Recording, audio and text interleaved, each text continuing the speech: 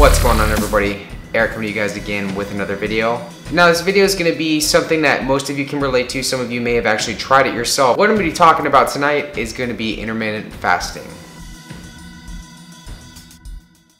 Now I can break this down in a ton of different ways, but I'm actually going to start with what intermittent fasting actually is. So intermittent fasting is essentially an eating protocol. It's not a diet, it's an eating protocol in which you actually take in your amount of calories that you want to eat in your entire day, whatever you want to say it is, 2,000, 3,000, 4,000, however many it may be, and you condense it in an actual eating window. Now these actual windows will vary. So some people actually go typically 16 hours without food and then 8 hours of actual eating. Now some people can actually go 20 hours without eating and then the actual 4 hours they can condense it into that time frame as well.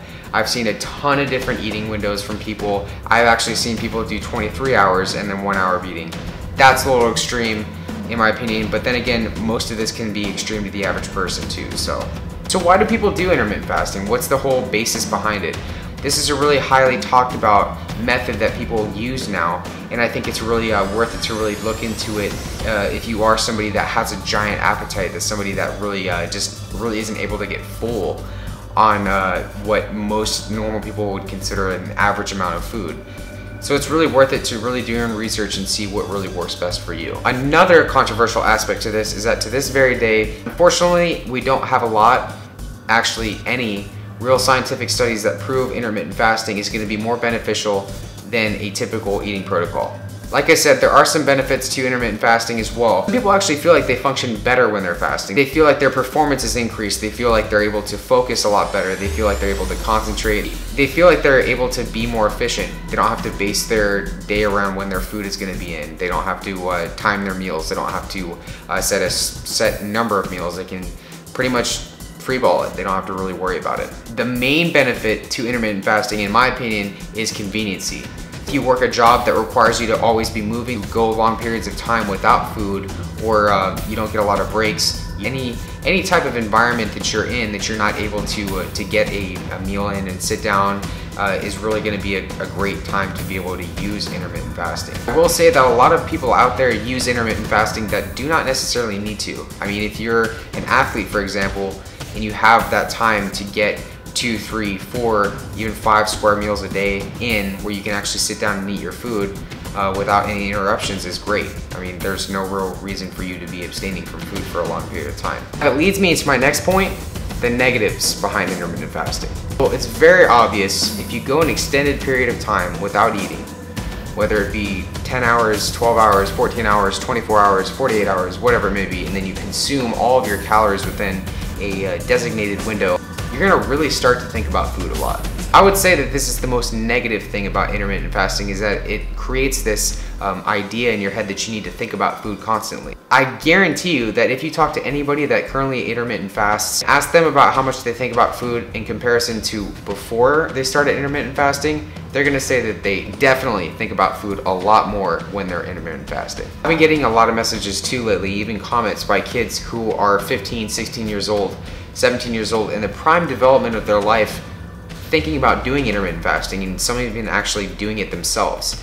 And this is totally something I advise against. There is no reason for you to be abstaining from food for such a long time when you're growing, when you need nutrients the most. At the end of the day, I go back to my own experience when I was at my worst with my eating disorder and my anorexia really had me in its clutches. I would, uh, I would go essentially 23 hours without food and binge eat vegetables for uh, that hour long span and that was pounds i mean that was pounds of vegetables without a doubt i mean i would probably take down five to six pounds of broccoli and just anything that was calorically uh, just void and uh, i would just consume a massive amount of it in order to fill my stomach just to control my calories uh, this is essentially what intermittent fasting is about it's about calorie control for a, a, lot of people. And that's what intermittent fasting can get into. It can get into binge eating disorder. And that's something that I definitely think everybody needs to be aware of. Again, try asking one of your friends or anybody that you know that does intermittent fasting.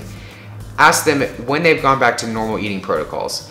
Ask them how long it's taken for them to get full, if they're able to get full, like an average person would. You're gonna have your answer right there. So here's my take on it, guys. Intermittent fasting is great if you work a high stress job and you don't want to worry about food. You don't always have the time to sit down and eat a meal. Uh, it's great and it's really, really convenient for most people. For myself, it's been a pretty good tool leading up to contests, to competitions, for challenges and everything like that, to be able to stomach a larger amount of food. If you talk to some competitive eaters, they actually use it as well in order to train for their contests and actually leading up into contests as well. At the same time, I touched on it earlier, it can actually lead into binge eating. It will make you think about food a lot more often. It can be really socially awkward when you're out with friends coworkers, family, and you can't eat because your fasting protocol says that you need to fast another two hours. And for those of us who have addictive personalities, lead to some negative things too. During my stint with intermittent fasting where I did it for 22, 23 hours a day, uh, I developed this I developed an addiction to stimulants and that's essentially what most people do when they're on intermittent fasting. They have coffee in the morning, they essentially don't eat breakfast or lunch, and so they're pretty much just addicted to stimulants for most of their time. I feel like that's definitely not an optimal way to live your life. Bottom line guys, whether you're bulking, cutting, or just want to maintain your physique, it really doesn't matter. Intermittent fasting is just another protocol for you to get your calories in. At the end of the day guys, fasting really is easy. I mean, at least if you've done intermittent fasting for an extended period of time and you know what it's like to go without food, simply not eating food is, is really not that hard. I mean, up until a given point. But that's just my take on it. Hope you guys liked the video. Definitely give it a thumbs up if you liked it. Let me know in the comments below if you guys want me to cover anything else. I really like making these types of videos. Stay tuned for the next video, guys. See ya.